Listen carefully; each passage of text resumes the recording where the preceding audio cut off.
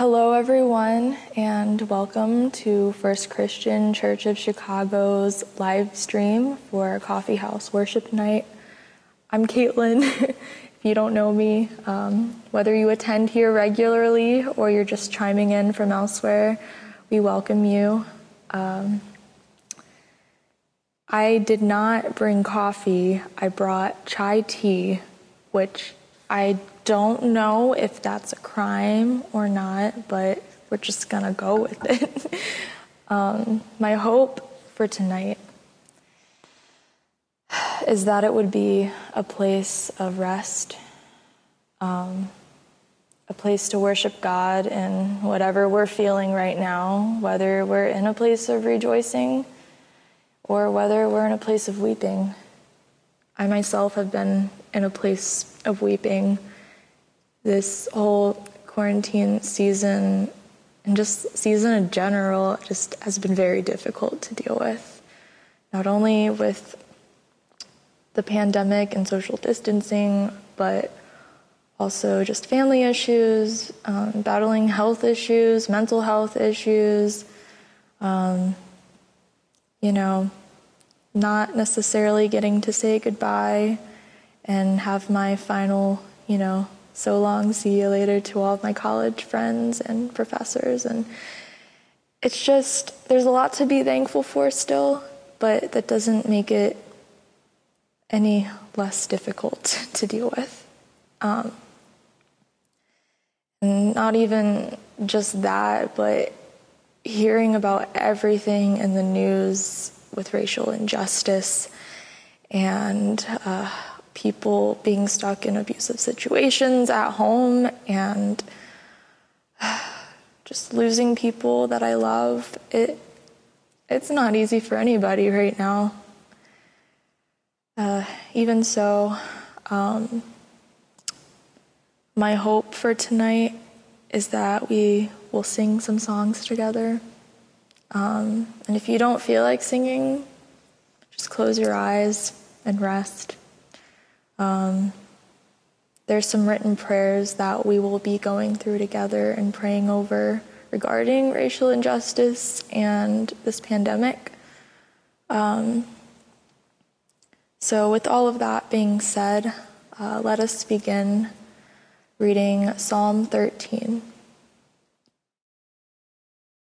How long, Lord, will you forget me forever? How long will you hide your face from me? How long must I wrestle with my thoughts and day after day have sorrow in my heart? How long will my enemy triumph over me? Look on me and answer, Lord my God. Give light to my eyes, or I will sleep in death. And my enemy will say, I have overcome him, and my foes will rejoice when I fall. But I trust in your unfailing love. My heart rejoices in your salvation. I will sing the Lord's praise, for he has been good to me.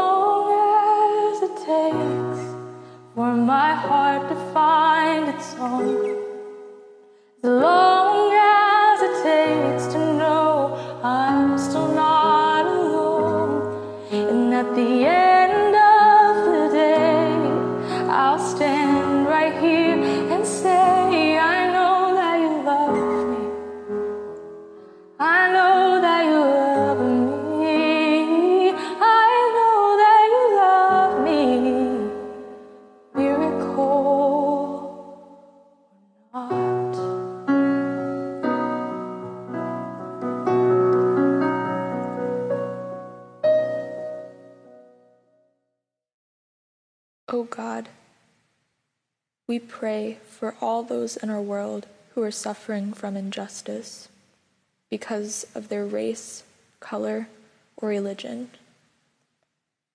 For those imprisoned, for those working for the relief of oppression, for those who are hounded for speaking the inconvenient truth. For those tempted to violence as a cry against overwhelming hardship, for those deprived of reasonable health and education, for those suffering from hunger and famine, for those too weak to help themselves and have no one else to help them, for the unemployed who cry out for work but do not find it.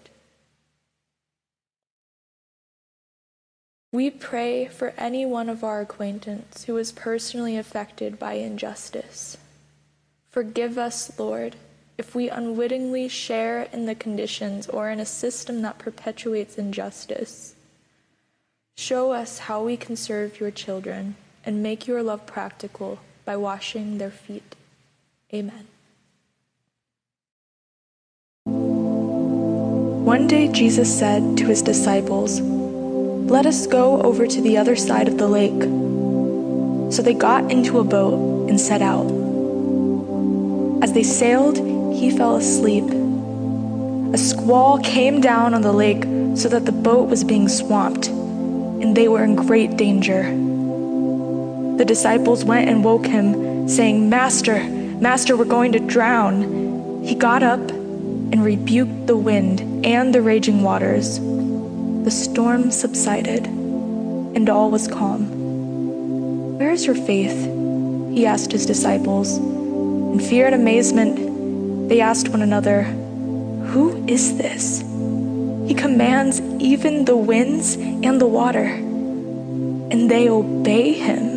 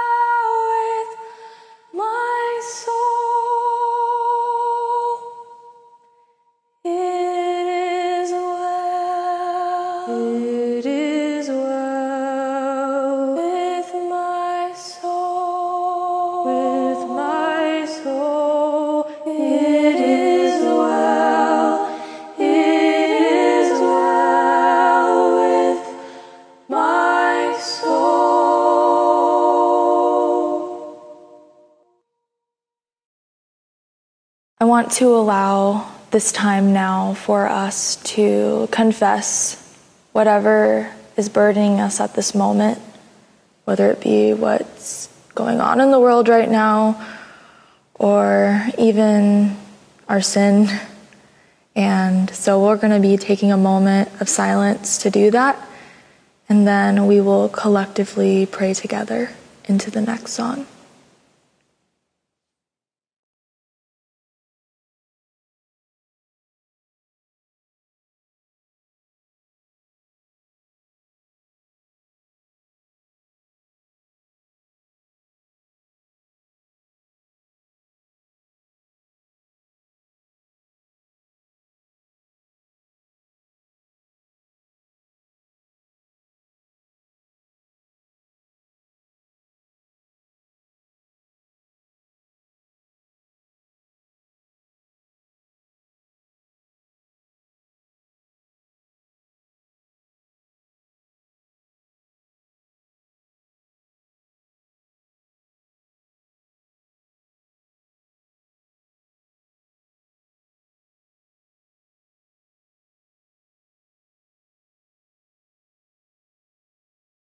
O God of grace and mercy, we come before you as an offering. We have fallen short and have sinned against you with our words, our thoughts, and our actions. We are genuinely sorry and repent of these things. Lord, forgive us. Cleanse us from our sins, renew our thoughts, rid the wickedness in our hearts, and remind us of the satisfying and abundant joy of our salvation, found only through the death and resurrection of Jesus Christ, our Savior. All glory be to you, God. Amen. Hear and receive this truth as an assurance of forgiveness from Romans 8 33 through 35. Who shall bring any charge against God's elect? It is God who justifies. Who is to condemn? Christ Jesus is the one who died, and more than that, who was raised, who is at the right hand of God, who indeed is interceding for us. Who shall separate us from the love of Christ? It is not up to us to condemn not to condemn others, and this especially includes condemning ourselves, which we are prone to do every single day. Jesus, who is the man of sorrows, is and forever will be familiar with our pain, our suffering, our grief, in our achings, and even in our joys. So let us be assured that in Christ we are forgiven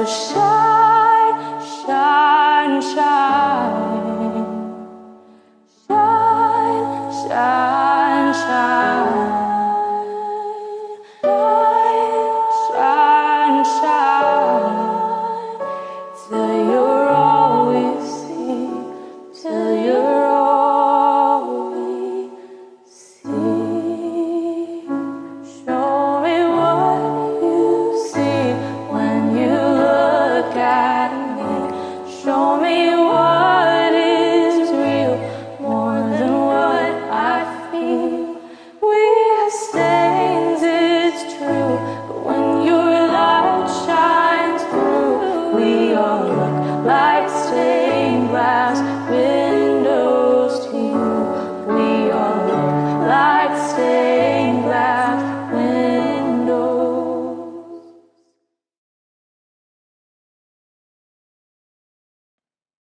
Holy God, we pray for the sick and infected. God, heal and help. Sustain bodies and spirits. Contain the spread of infection. We pray for our vulnerable populations. God, protect our elderly and those suffering from chronic disease. Provide for the poor, especially the uninsured. We pray for the young and the strong. God, give them the necessary caution to keep them from unwittingly spreading this disease. Inspire them to help. We pray for our local, state, and federal governments. God, help our elected officials as they allocate the necessary resources for combating this pandemic. Help them to provide more tests. We pray for our scientific community, leading the charge to understand the disease and communicate its gravity. God, give them knowledge, wisdom, and a persuasive voice. We pray for the media committed to providing up to date information. God, help them to communicate with appropriate seriousness without causing panic. We pray for consumers of media looking to be well informed. God, help us find the most helpful local information to equip us to be good neighbors. Keep us from anxiety and panic, and enable us to implement the recommended strategies, even at a cost to ourselves.